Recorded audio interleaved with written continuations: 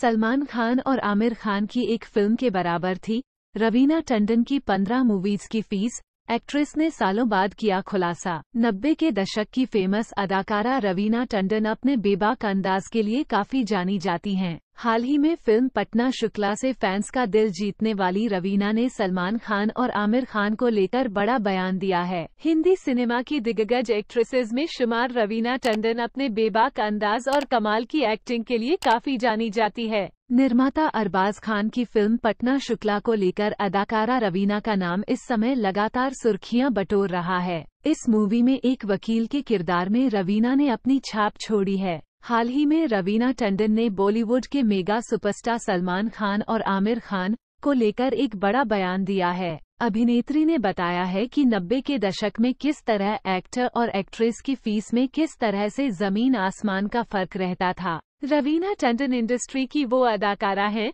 जो किसी भी मसले पर बिंदास तरीके से अपनी बात को रखने के लिए जानी जाती हैं। हाल ही में दिए इंटरव्यू में रवीना ने करियर के शुरुआती दौर में अपनी फ़ीस को लेकर बड़ा खुलासा किया है। उन्होंने कहा है, नब्बे के दशक में एक्टर और एक्ट्रेस की फ़ीस में काफ़ी अंतर रहता था। एक तरफ़ मेरी पंद्रह माइनस बीस फ़िल्मों की फ़ीस को मिला दिया जाए और उतनी फ़ीस सलमान खान और आमिर खान जैसे एक्टर एक मूवी के लिए उतना चार्ज करते थे। दरअसल, उस दौर में फ़िल्मों में अभिनेत्री से ज़्यादा अभिनेता को तवज्जो दी जाती थी तो ज़ाहिर है कि उनकी फ़ीस ज़्यादा होना बनता था। हालाँकि अब जमाना बदल गया है।